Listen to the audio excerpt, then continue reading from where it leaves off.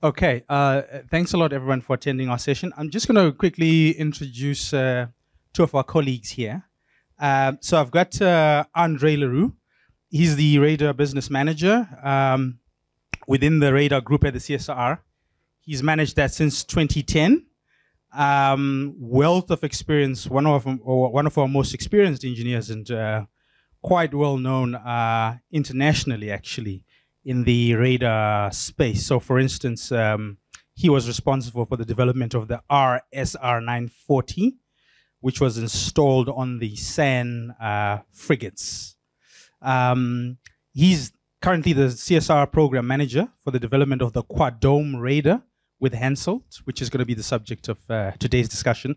Uh, accompanying him is um, Jaco uh, a radar specialist and program manager uh, at Hensoldt uh, in South Africa. So Hensoldt is one of our industry partners that we're currently involved in a joint technology development commercialization program that uh, these two folks are going to be talking about.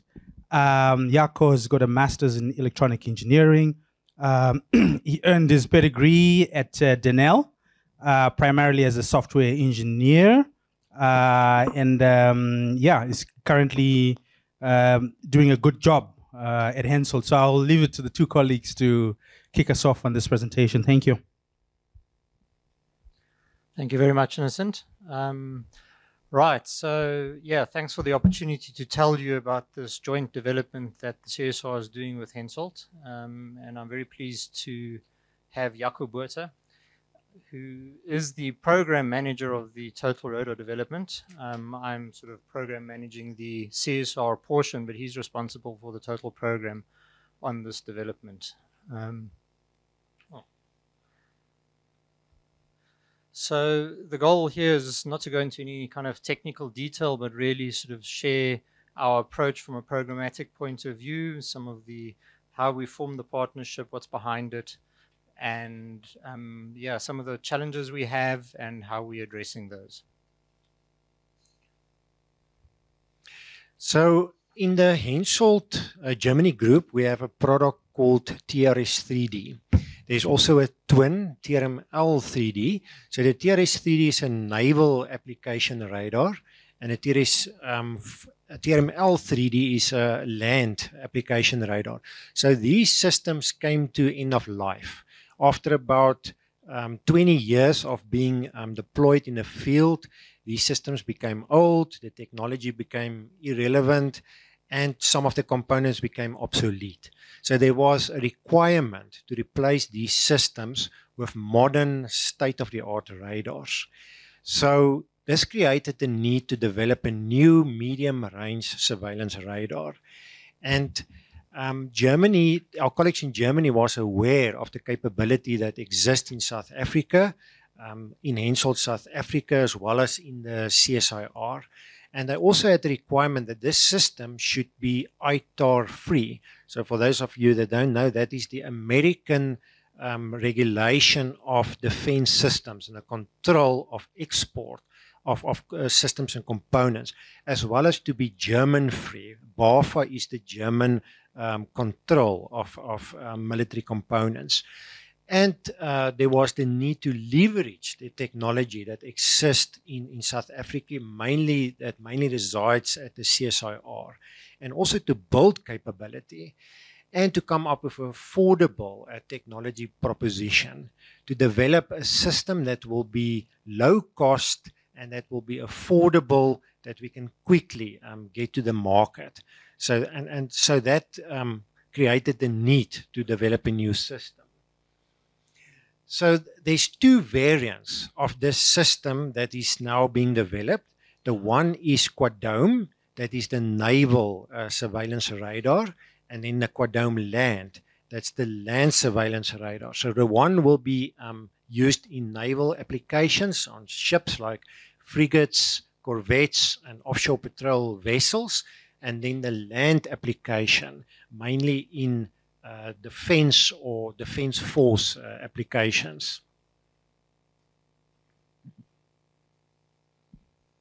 Right. So just maybe a bit of a history for those of you who don't know of CSR radar capability. Interesting thing is that the first president of the CSR, Dr. Basil Schonland, developed the first radar in South Africa in 1939.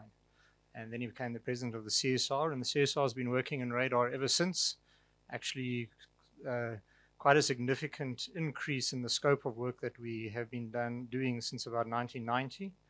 Um, and this slide just tries to show sort of some of the CSR's role. We pride ourselves that we go out into the field, so we're really solving the problems in the real world. Like that, that low angle tracking algorithm there is something that has been installed on the frigates as an upgrade to that radar. Uh, and a lot of work in modern radar techniques such as classification of what the radar is picking up. What I wanted to do also, just sort of in the context of a bit of history, uh, is to juxtapose the manner in which we have tried to do innovation, a sort of commercialization and industrial development over the last 20 years. There's a number of examples. You'll all be aware of the CSR's sort of latest sort of new strategy that's been developed in the last five years about really working closely with industry and commercialization. It's something that we've actually because of our role within the DoD as well, been doing for quite some time, for, for a number of decades. And um, I'd like to just sort of show different, different models of how that has happened to juxtapose that against what we're doing now. So a lot of these, there's a lot of been opportunities, there's been a lot of capability development, but there hasn't really been a huge success of taking something to the global market. And I think that's the difference where we, the trajectory we are on at the moment. So this is the radar that's on the frigates. It was developed by Reutech Radar Systems. Our role there was to, to first in the 90s develop the, the background technology to that, transfer that to industry, and we work closely with them then to develop that. We did one or two bespoke subsystems there. So that's an example, which is also seems to be the history across the world with such complex systems as radars that often the big radars that you see being sell, sold internationally first was a local development for a government need, meeting the requirements within that country. And then from there, it was taken out to product, which is interesting. You'll see is a bit different to what we're doing here. This is another example that we did with Reutech Radar Systems. This one, Reutech came up with the original innovation, and we then took our, our knowledge and we worked with them to do a lot of the modeling of the system and take responsibility for some of the algorithms that were in that radar. Um, as an institute, also to get revenue, um, we have also taken things out to the international market. Uh, we have found there's a market for some of our facilities that we use to develop to provide service to the our own defense force, and we've found that other institutes have interest, interest for that, and it's not something where industries play because it's not, it's not high volume. Um, this is something more recent. I think many of you will know about the Meerkat WAS in the Kruger National Park. And this is really a technology push from the CSR. We've took that prototype in the, in the Kruger Park and it's made a difference over there. Um, we're going to have a talk later on that in a bit more detail. But we've taken new technology, um, array technology, and we've developed a newer version, a, a radar that's really aimed at um, bringing true automation to that security problem. Um, so that, and then here's two more, which are sort of technology pushes. The one is UAV SAR, where the CSR is really the sort of de developing the technology and also doing work to understand the market and understand the requirements to be able to take that to market. We're doing similar things in spaceborne synthetic aperture radar, and Willie Nel will be talking about that a little bit later. The and but there that same role is being played along with our space industries, partnering with space industries. But it's also very much a technology push kind of technology. Right in 2019, we we um, signed a sorry, beginning 21, we signed a um, a development agreement with Hensoldt to develop this. We CSR's role is really to be the technology partner. Hensoldt is the product owner. It's their product. They do the marketing. They take it to market. They will support it through the years. Our role is really to be design authority on that product. Now, the interesting thing, the difference over here is really that it's not a system that's been developed for local government from local government money. This is really a strongly business case driven from Hensoldt itself. Okay, and it's linked. Um, Jaco showed you that TR, um, TR, TRS 3D radar. Um, the system engineer on that happens to be an ex-South African who worked at Reutech Radar Systems and went over to Reutech and to, to, to Hensoldt in Germany and came back to South Africa and saw an opportunity here with all the value systems that Jaco put on the table and said, well, um, he has a very strong understanding of the market niche of the product and what a competing radar should be, a strong understanding of what price point we need and how to balance nice to haves with um, with things that re we really need to achieve. So this thing has been driven very, very strongly against the business case and along with that also strongly with the market need and understanding that market and a whole Hensoldt international market force which is busy busy marketing the system internationally. So, just to elaborate on the roles and responsibilities of the two organizations in this partnership, um, there's obviously skills that complement from the two organizations to make this development possible, and that's why we set up the development agreement. But in this agreement, there's responsibilities. So, Hensoldt, as Andre mentioned, is responsible for the product management to manage the product over the entire life cycle from conceptualization right through um, production and support.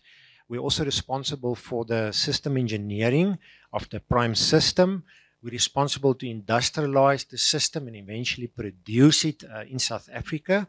Um, we do the procurement, so we manage the whole supply chain to get all the components into the system. We do the com- commercialization, so we're responsible for the product, for the business development to get it to the market. And then we also design the lock and support engineering to support the system once it has been deployed uh, at the site of the customer. Then the CSIR is responsible to develop the core radar system and to manage that te- technology and support the technology throughout the life cycle of the system. They manage the, the technology, as I said. They do the uh, building of the prototype system and the building blocks of that system. And then also for the radar signal processing and including the, the tracking of all the targets in the system. So maybe this sort of elaborates a little bit on that. Um, firstly, the every single time Hensoldt management came over here, they are actually they say they're quite astounded at how closely and integrated the teams work together. So we've got a formal development agreement. We properly understand each each's responsibilities, but then the teams almost put that aside and support each other very closely on the different parts that they do.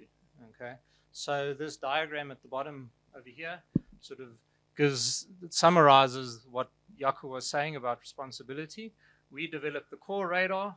The core radar is effectively the heart of the whole radar sensing function from the antenna, signal processor, data processor, control of that whole radar function. Um, and part of developing Hensoldt South Africa's radar, Hensoldt bought um, Tellumat, who have a lot of experience in all those product level um, elements that they had. So we form a very close team with them. Um, and very importantly, you'll later on we're going to talk about the concurrent engineering process, um, which is required to get the, the, the, the, product to market in the time that we need to get it to market. And um, so wherever we can, even though it's our responsibility, if the skills lie somewhere else, the knowledge lies somewhere else while we're busy developing even the first board, we're already getting the review from an industrialization point of view from the people who will be manufacturing it in, within Hensoldt. So. Just to elaborate on some of the building blocks of the Quadome radar.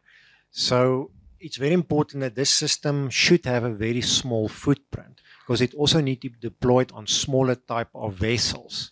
Um, also like combat vessels and aux auxiliary vessels. It consists of just a few uh, major parts. The one is the radar antenna system. Then it's the radar pedestal um, system at the bottom left on which the antenna is, is based. Then the radar processing cabinet and the power and conditioning cabinet. The two cabinets that you see there at the right. So most of the complexity reside in, in the antenna system itself. So the, the phased array technology that was developed by the CSIR is now packaged and incorporated into that antenna. It's a very dense packaging. It's very complex. There's very a lot of um, active elements that go into that antenna. That antenna also need to be cooled and it need to operate in very harsh environmental conditions. And there's also an IFF system uh, an IFF antenna that's incorporated into that antenna. Um, in the radar processing cabinet, that, that's where the complexity in terms of the signal processing reside. So the control of the radar, the processing of the waveform, and the tracking of targets. It all happens in the radar processing cabinet. And in the power and conditioning cabinet uh, is responsible for the supply of power. The cooling unit sits in that cabinet as well as the dry air supply. That's the system. So um, the capabilities that we're trying to establish, we're trying to establish a radar capability within South Africa and expand that. So that consists of project management capability, system engineering skills, uh, this radar design capability, quality, and then lock and support to support the system through the life cycle. And then this system is done in partnership, partnership with industry, um, then the partnership with the CSIR and universities. Um, we currently have various uh, lecturers from the University of Pretoria that's involved in our project that also help with uh, signal and tracking processing algorithms. So just to give you a, an idea of some of the partners that we that's part of the development of the system, there you see companies like uh, Imtech, um, Trax, University of Pretoria, GW, that's also part of the Hensoldt Group, um, BST, MMS. Uh, we also have com uh, companies that are buying houses and agents that help us to um, secure the supply of components, also from foreign suppliers. And then we have uh, small uh, micro and medium enterprises also involved in a project, also to help us with uh, production and then to support testing, especially when we have to do environmental verification and system performance verification. We make use of facilities at various companies. So, what are the challenges that we face on, on this project? Firstly, it's a very complex system. Um, I've already uh, tried to elaborate on this. It's, it's a multifunctional system. This project spans over various organizations. We have a very ambitious development schedule, almost impossible schedule that we need to adhere to. We have a tight budget. We have supply chain challenges like uh, all companies that uh, have to manufacture systems are aware of. We had COVID. We have geographical separation just within the Hensoldt group, we have facilities in um, Pretoria area and then also in, in Cape Town, and, and we have challenges with facilities. So how do we mitigate all these challenges that we have? Um, I have a belief that there's always more solutions than there's uh, challenges. So we all, always have to take that uh, into account. So on a complex system, we have multi-skilled resources. We have experienced system engineering team and a project management team. And we use very modern tools like model-based system engineering to support the system engineering um, process. Um, we have a diverse team with multiple skills, with deep experience that, that's involved from all the various organizations. Then, very importantly, we have a well organized and structured team Later, I'll show you just a, a high level organigram of the team. And we collaborate across various uh, platforms and we use uh, virtual platforms like MS Teams um, and others. We Then we use a process of concurrent engineering to address the problem of this very ambitious uh, schedule that we need to adhere to. So a lot of things happen in parallel. We're already ramping up to production. We already address uh, lock and support uh, plan that we need to put in place once we deploy the system. and um, there's various other functions. And, and then we build capability in parallel to the development. Um, we need to adhere to the schedule. I mean, that's the most important thing. If you want to keep costs down, stick to the schedule. Because once this army is marching, it's very difficult to contain the cost. So that, that is the bottom line. Put the peg in the sand and stick to it. We, we have established a dedicated uh, procurement team to address our supply chain challenges. So that team is uh, meeting weekly and we're monitoring the progress on, on supply chain all the time. We also have to do early procurement. Traditionally, you would have procured as late as possible to, to manage your financial um, uh, your financial timeline. But now we need to procure early. If a component is available you buy, you buy it. And sometimes you, you, you buy a component and you design around that component. Because if you don't have that component, you don't have a system. So the, the uh, procurement strategy has changed quite dramatically um, than in the past. Um, we've been, this whole team has been established in the COVID period. So we had to organize the team we had to organize ourselves and run through virtual platforms like Teams, and we had to structure ourselves to work remotely. That was quite a challenge, but I think in that regard, we've been quite successful. And we've now built a team of more than 50 employees working directly on the project. If I count in employees working through um, contractors and the supply chain, there's most probably more than 80 um, employees on the project. The geographical um, separation, we have to work remotely daily um, to, to, to, communicate effectively um, um, amongst the team members. And then facilities, we make use of existing facilities that reside at the CSIR and Hensoldt. We're also expanding our facilities. We're in the process to um, commission and deploy a near field test range at our facility in Cape Town, and we've built a new production plant at our uh, offices in Cape Town. So that's in process. And then we also use other facilities that exist, like at um, facilities like Hotech, IMT in Simonstown, RDMF test facilities, and, and the facilities at Armscor. So, just to expand on one or two of those points in a little bit more detail, this is the traditional um, V diagram in system engineering. So, on where are we now? Um, so, even though the agreement was signed in 2021, as part of that whole trusting partnership, we actually started developing more than a year before then. Um, the we are now pretty much at the bottom of this V. Um, so, the left hand side is the is the design phase, capturing requirements, going through preliminary design and detailed design.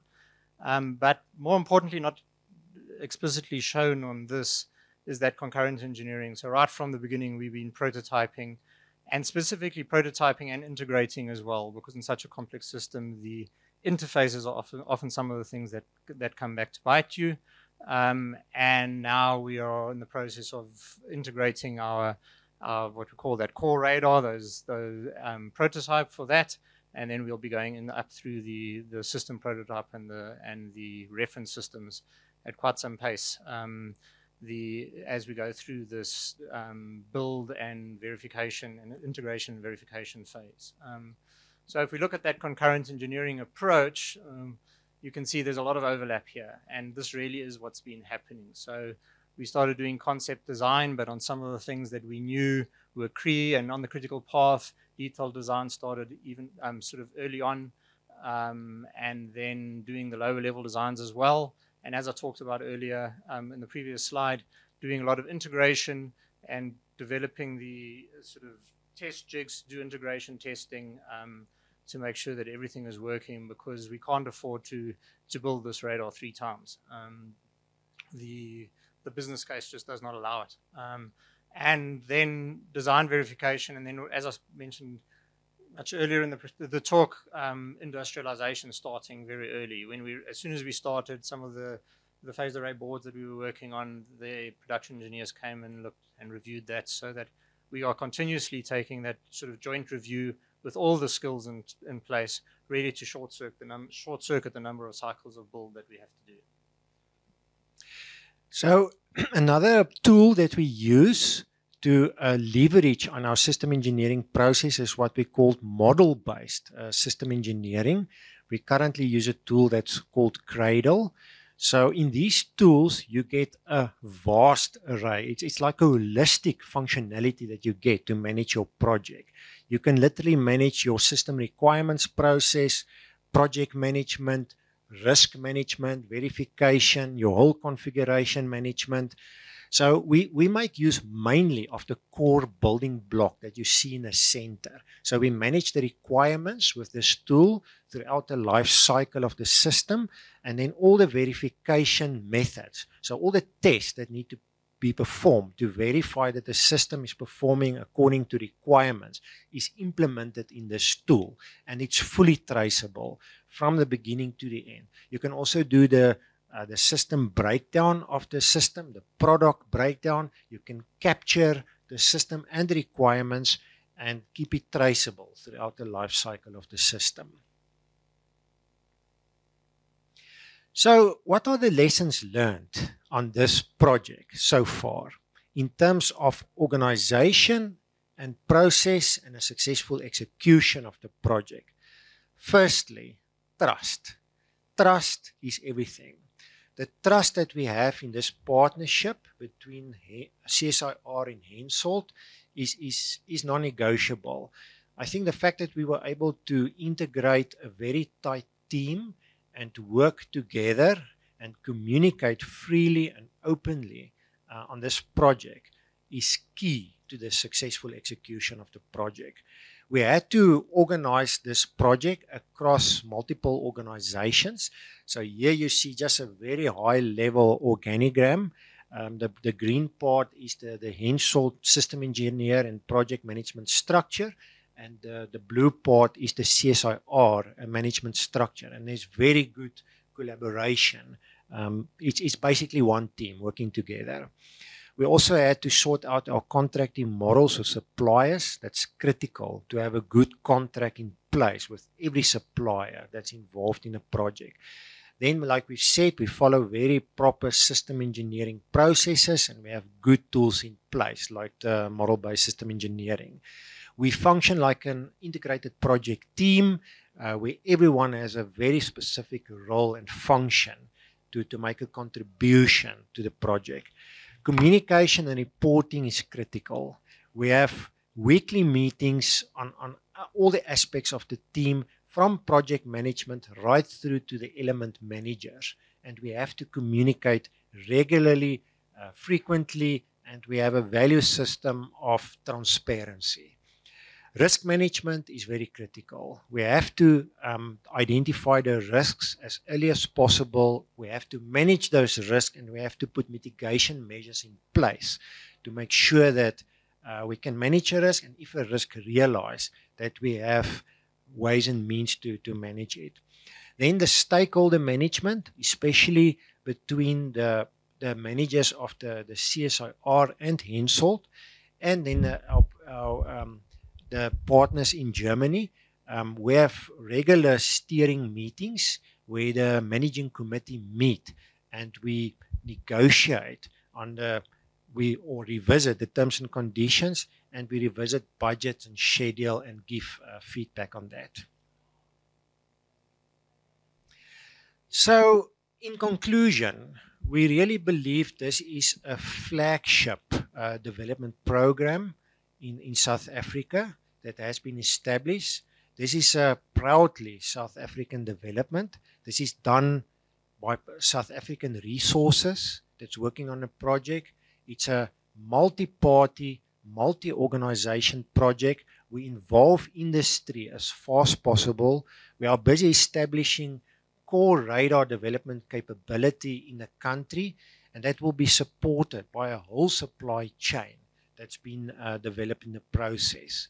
We create many job opportunities. As I said, there's already um, 50 employees working directly on the project and indirectly everyone working in the supply chain that's also involved. And then we create many um, international uh, marketing opportunities. So we already have a lot of interest in the project. We have sent out uh, um, um multitude of proposals to potential customers, and we believe that we're going to sell uh, many of these systems. Thank you very much, and thank you, Jaco, for joining me for this Thank talk. Thanks a much. Okay. Yeah. No. Uh, uh, thanks a lot, uh, gentlemen. Uh, I think we'll take uh, a few questions.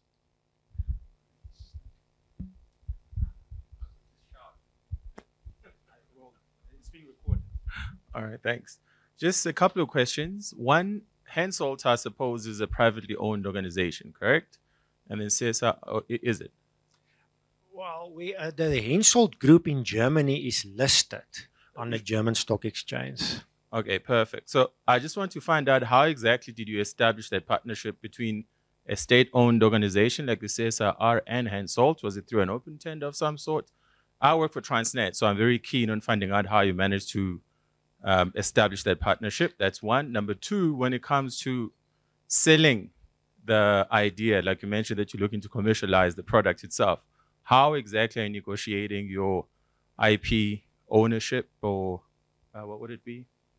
IP ownership or royalties. Correct, that's the word. I'm an engineer, so the words escape my mind. And then the third one is how long did it take for you to facilitate that partnership from when the need was arise to eventually when you managed to start working together? Thanks. All right. Thanks. Yeah. So before you answer, I think let's take two more questions. Sure, then I need to write them down. Thank you. I'm Director of Technology Development for the uh, Defence Force, um, and I've listened to um, these type of uh, presentations. Thank you very much. I think it was very informative and also very um, elaborative in terms of what you guys have done over the years. I believe that the demonstrator has already been um, uh, produced and that you're now working into the industrialization of, of, of uh, the Quadome. With regard to the IP, and once again, the issue goes about is that uh, the minister this morning indicated that we must be working smarter and more collaboratively with one another. We have a similar system now also uh, where the DoD is spending a lot of money in terms of MRSR, which is the multi-role um, surveillance radar, um, busy with Reutech in Cape Town, uh, uh, radar solutions. Why did you guys not uh, collaborate? Because now we've got two systems.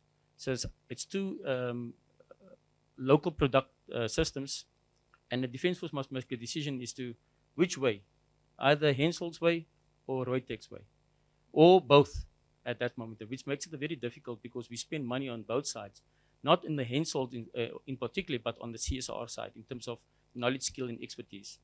So the question that I would like to ask is, why did you not start with the collaboration? L- looking at you, what you've presented in terms of this is a very um, intriguing uh, system. It is um, money uh, orientated in terms of budget, and um, looking at the timelines. What is your timelines in terms of industrialization to have the first product for the Navy on, on uh, available? And then obviously, uh, that's the second one, sorry. And then obviously looking at um, the way forward in terms of collaborating with Reutech and all the other companies. I mean, you've brought uh, Tellumat out already. So what's the future in terms of Hensoldt, in terms of this product? And is it only for local uh, or are you going to industrialize it globally? Thank you. Okay, so I think I'll allow the colleagues to take these, but then uh, take notes. Of, oh, oh, there's one more. Okay, so um, I, I hope it's not going to be a compound question. Those are not allowed. Sal jy sien of wat in ek sien, hè? Ek kan 'n bietjie I'm not a op compound met person. met hom Thank praat. Ek sal baie I, I just want to ask a question. I'm, I'm Sefiso from the colleagues who are presenting. They are saying they have made a collaboration with this German company. And Sorry? then I- I'm saying, you are saying this company that you have made a collaboration with is listed in German. And uh, what you are exploring is that you are looking at taking this product to outside South Africa. I'm not a defense person. But if we are going to use this radar to for with the the naval, our navy, for an example, from um, um, a patriotic perspective, I will believe that for our navy, the radar should be better than what we are going to sell, sell overseas. So, so that we, in case that the countries that we have sold this radar, we are in conflict with, we will have a competitive edge. So, how do you navigate around that? It's a simple question. Yeah, no, very interesting questions. so uh, I, I want to urge the colleagues to think carefully before answering any of these questions. Okay, let's let, let's start. No, no, we'll- we'll, we'll, we'll do a second round. But yeah, like I said, think carefully. Less is more. Okay. Uh, thanks, thanks, Innocent. Um, we might just ask for a keyword here or there, but I think your first question was how was the partnership established? So I think that talks to the different models that we talked about. This is not a technology push. So although we had the technology, Hensoldt identified it. So there wasn't an open call because Hensoldt came to the CSIR as an institute, okay, um, and said, well, we want to work with you. And then that went through. We put some proposals, costing um, on the table and quite an open process. We talked about this being business case driven. So even then, the, the trusting relationship quickly grew. And in sharing, in terms of sharing the details of the business case to allow the negotiations to take in that context rather than sort of blindly giving prices out to each other. So that whole open process went went in that manner. Okay. Then I think you talked, you asked a question about IP. Um, so it's important for the CSIR. I mean, we're a, a technology organization. um, it's hard work to get contract R&D income continuously. So we need IP accretion. Okay. So the negotiation is around us being able to still own the core IP that we use and licensing it to Hensoldt. And obviously there were various negotiations about royalties and stuff around that as well, so that there is um, sort of joint benefit around that. Your third question, keyword? Again, it came to that trusting thing, you know. So um, we we we created a process where we said, well, let's do it in steps. Let's put an MOU together that really talks about the high level principles, and under those principles, we actually started working together on some of the things. Hensoldt gave an interim contract right in the beginning for us to do some concept development while that was all developed. So I think that whole negotiation process took about a year. Yeah, maybe just um, so so so so um, on the first question, I think it's also it's, it's important as um, Andre is alluding that uh, we've got different ways of uh, engaging with partners. So we do have active origination where we can actually ourselves conceptualize projects and we go and we approach partners. But we also have passive origination where we are actually maintaining an open door. So partners can come through, and if there's a strategic fit, then we can uh, engage. I think I will first answer the question about the Navy. So, um, yes, they, they, so so just to recap, um, you, the proposition was that uh, let the superior product be reserved for South Africa, and that for potential foreign adversaries, uh, perhaps do not provide a a product which is uh, on par. it depends on who's willing to pay. um, there's, there's, there's a lot of there's a lot of interest from the South African Navy to have this radar um, deployed on their ships.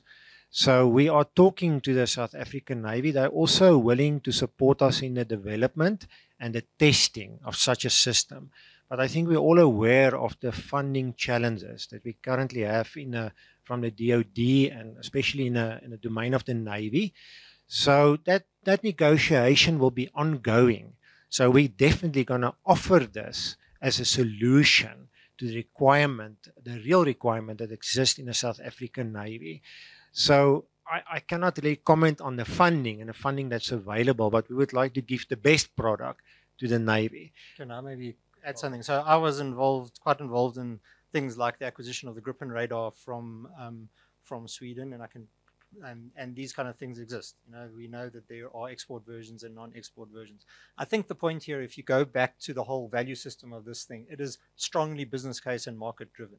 Okay, so there are advanced features which we don't even put into the radar because, you know, if we come up with a feature, the the the, message from um, from the the principal in Germany is said if it makes the price the thing more expensive because that's really driven for international market it wasn't it wasn't developed for this that does not mean we have a strong radar we've got an unusually strong radar capability in South Africa both here at the CSIR and various industries that does not mean that when um, the South African Navy buys one of these things. We have many other techniques that we've developed that aren't in this, that we cannot, because we actually design authorities as well, that we cannot add things to the system and address certain requirements, advanced electronic warfare measures, target classification, all of those kind of things. So that's the way, that's the model that I would approach that. Fully agree. Support it. So, so, so Jaco, if you could um, quickly address the gentleman's question. Uh, this was quite a politically laden question. Um, Less is more. well, I will be I will be hesitant to stick my neck out in terms of the funding. Um, I mean, uh, South African funding to Reutech and the CSIR. I think that's a Yeah, very no, no, I- I- loaded yeah, yeah, question. yeah, no, no. I, I think maybe the the, the the what should maybe focus on is more the issue around collaboration because I think the gentleman he was talking about the fact that uh, you know uh, could you not have collaborated, let's say, with uh, certain other parties or not. So maybe I think it's maybe important just to sort of provide the context. I think Andre did provide it to this to the extent Yeah. that there was already a, a sort of product proposition initially. Hensoldt came to Yeah. us and said that South African requirements would be also useful to be taken into account, but they were looking for a world product. Okay, um, and that's and I mean we're this the technology partner with. Sorry, we are the technology. Sorry, ap- apologies. sorry, Matori, is it is that better? Um, so the um, the um, yeah, so we, we it was really came from a world market point of view, and that that was really driven by Hensoldt's strategy in terms of the way that the product was being developed. Um, I do know that they're also quite an open company, and they do also talk to um, to RRS. So I think there is opportunities for collaboration going forward. Yeah, this partnership is definitely not exclusive. So we did approach uh, Reutech to help us on one of the key components of the of the radar. Unfortunately, at that point in time, it did not make commercial sense to to incorporate and to contract uh, Reutech on that. But we're still talking to Reutech. We we're still looking at opportunities where maybe in future they can produce some of the core parts of the radar. So we're open to discuss that. Okay. And I think the other the other leveraging is sort of such a product development. In essence, it's also bringing further investment that actually magnifies the investment that the DoD has made in various places like the CSIR. I mean, that technology that um, and that IP is available on other programs as well. So Yeah. Okay, so I think the, the sort of quick takeaway is that um, I, this is the beginning of it, it's not the the be all and end all actually. So so I think, but but this is a very important start. uh, taking heed with what the minister said this morning that we need to have more collaboration in order to build economic uh, revival for this country. We cannot have uh, various companies and um, doing different things, but at the same time they're actually doing producing the same type of uh, requirements for the defense. So we, the defense cannot buy uh, from both parties. We need to make a decision at the end of the day, uh, and and that will also ultimately depends on which system is the, the best or the niche. But the other question was in terms of your um, industrialization, what, what is the timelines? When will you have your first product on the table? That's easy, right? It's easy to answer. Let's wrap it up on that easy one. Yeah. yeah. Um, we we are we've already started with the industrialization. Like i said we're already busy ramping up to production. We're putting all the plans in place. Our current goal is to have systems available by the second half of 2024 the first naval systems commercially available that can be shipped to customers. It's a very ambitious schedule but that's what we aim for Okay, thank you. I, I I take it there's no final question. Burning, just one. No, we're, we're not taking that question.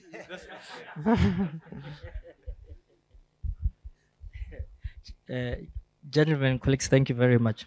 Uh, maybe one or two questions. Uh, they are very serious. Okay, maybe let's start with the one, uh, then the rest will follow. Maybe the first one, based on your organogram, uh, the diversity of that group seems to be very questionable. Uh, what is the strategy of this project uh, with the transformation imperatives uh, of this country? That's one. And uh, what is the biggest challenge that you faced in executing this program, as complex as it is, Jaco? Uh, and I think the present, lastly, the presentation was focused more on the model, the partnership. Uh, what are the high-level system specifications of this particular radar? Because that did not come out clearly. Thanks. Okay, so uh, I'll, I'll exercise prerogative. So you'll just answer the first two questions briefly. We are really behind time. Okay, uh, Hensoldt South Africa subscribe to the Defence Charter, and we believe that we have a social responsibility to make an impact on, on society in general, and to, in the end, um, reflect the, the population and involve skills and resources that's available. It is a challenge because many people in, in a radar domain traditionally come from historic backgrounds and has a lot of experience in that field. So it's a it's a real challenge. It's something we we have to address and we continuously addressing. So it, we have a plan to to work on that. Right. Okay. So so so so I, I think I think with that uh, we can uh, give our gentlemen uh, you know a good round of applause. All right. Thank you so much.